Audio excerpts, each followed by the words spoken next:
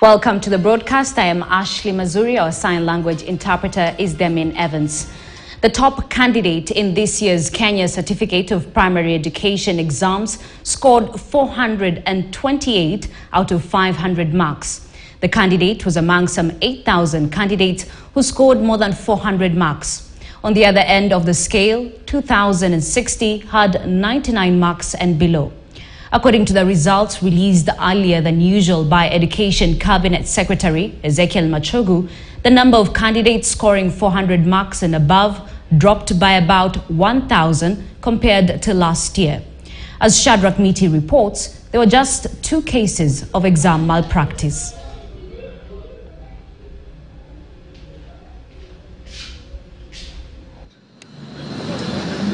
The 2023 KCPE exams, the last in 39 years, had a record 1.4 million candidates compared to last year's 1.2 million. However, with 2023 results showing a slight drop of about a thousand candidates who scored 400 marks and above from last year's 9,443 to this year's 8,525, there is a feeling this year's results were not as impressive. I think 2023 exams has come out to be not very well performed. The other year was better.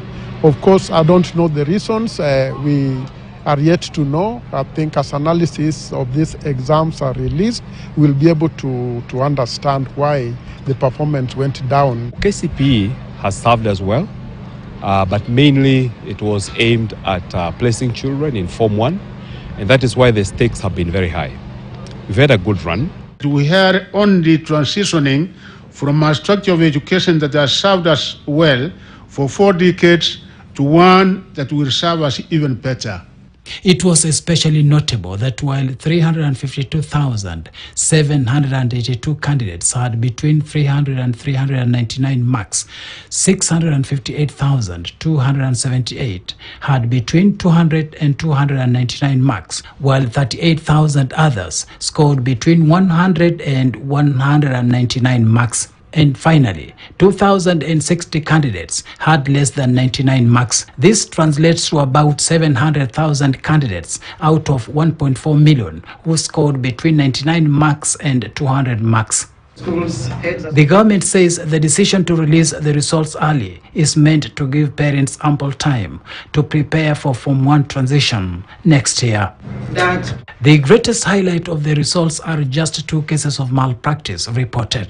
And while the culprits were guilty of floating exam rules, NEC says the only punishment meted on the two was to score them zero in the subjects they were caught cheating and not cancel their entire results altogether. The good thing with KCPE is that all we do is that you get a zero in that particular subject where you are caught in the malpractice, but you are scored for all the other subjects, you get your certificate, and you proceed to secondary school. It doesn't stop you. It has been a long way. And also, we congratulate the Examination Council and the ministry for having an examination which is uh, almost 100% clear of uh, irregularities. Sisi kama kamati tutakuja tu kuiangalia kwa sababu hii ni oversight yetu.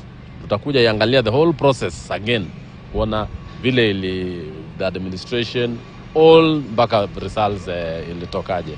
Out of the 1.4 million candidates, 721,544 were male and 685,017 female. Furthermore, 205 candidates comprising of 125 male and 80 female who were not registered were allowed to sit the exams. 10 counties comprising of Mandera, Garissa, Turkana, Wajir, Machakos, Nyamira, Samburu, Baringo, Nandi, and Makueni had a significant entry of more males than female candidates. Isiolo County had more female candidates than male. Meanwhile, Baringo, Wajir, Bomet, Kericho, and West Pokot had the highest number of candidates aged 12 years and below, while Garissa, Turukana, Kwale, Kilifi, and Mandera had the highest number of candidates who were 18 years and above. Once again, female candidates performed better in languages as their male counterparts excelled in sciences and mathematics. The two genders, however, performed comparably in social studies and religious education. Shadrach Miti, KTN News. Michael Warutere is the best performing student in the recently released KCPE examination.